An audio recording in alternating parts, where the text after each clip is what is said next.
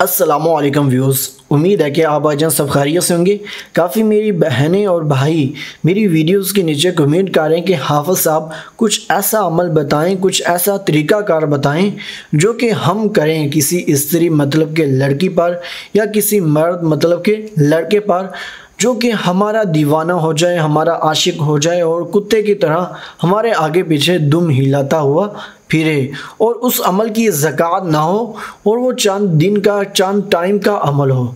तो बिल्कुल आज आप भाइयों की वो ख्वाहिश पूरी होने वाली है। इस वीडियो में मैं आप भाइयों को एक ऐसा तवीज़ बनाकर दिखाऊँगा और उस अमल का सारा तरीक़ाकार बताऊँगा, जिसको आप बिना ज़क़़त के कर सकते हैं। अगर आप भाई उस अमल को करते हैं तो उसका जो असर है, वो चंद सेकंड में मिल जाएगा।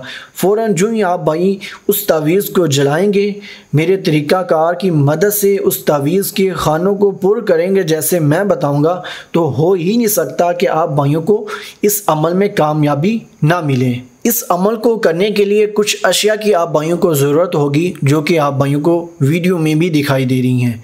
एक फुटा और दूसरा सफ़ेद कोरा कागज़, जिस पर कोई भी लकीर ना हो, ना ही आगे और ना ही पीछे।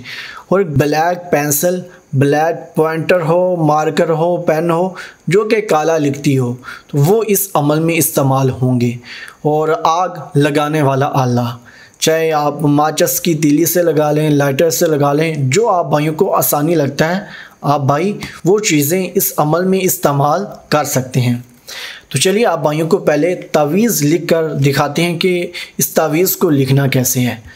जो ये कागज़ है, इसके इर्द गिर्द आप भाइयों ने सबसे पहले लाइनें लगाकर इसको मुरबा नुमा शक्ल में तब्दील कर लेना है।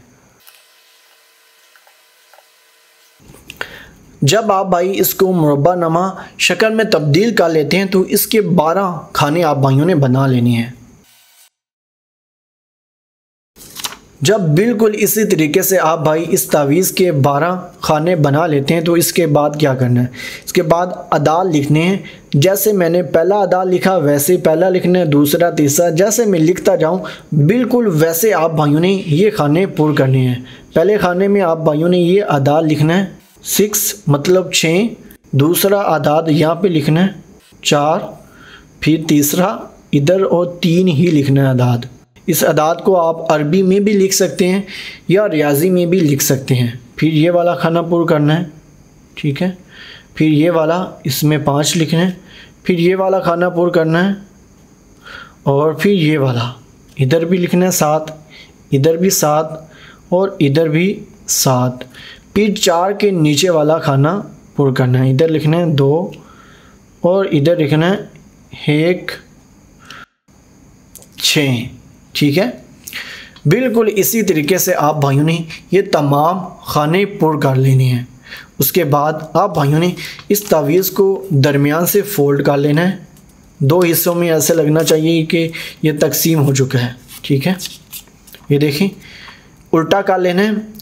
इधर अपना नाम लिखना है, ठीक है? जिधर हेक लिखा हुआ है मतलब कि जो तालिब है, वो अपना इधर नाम लिखे एक वाले खाने में पीछे, और जो मतलूब है जिसका नाम आप आइए, जिसके लिए ये अमल करें, वो छः के जहाँ पर लिखें।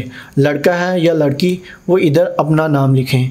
जैसे मैं लिखता हूँ, काशिफ, लड़का है, और लड़की है, सना। ये दो नाम आप भाइयों ने लिख लेने हैं। अगर आप भाइयों को नामों के अदाद निकालने आते हैं तो आप भाई अपना नाम और अपनी महबूबा का नाम अदाद में भी लिख सकते हैं। अगर अदाद निकालने नहीं आते, जो नाम है वो उर्दू में भी लिख सकते हैं, इंग्लिश में भी लिख सकते हैं और हिंदी में भी लिख सकते हैं।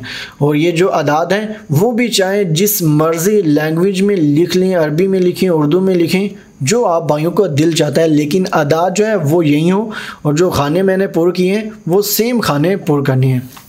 जब बिल्कुल इसी तरीके से आप भाई इस तावीज़ को लिख लेते हैं तो इसको जलाना कैसे है?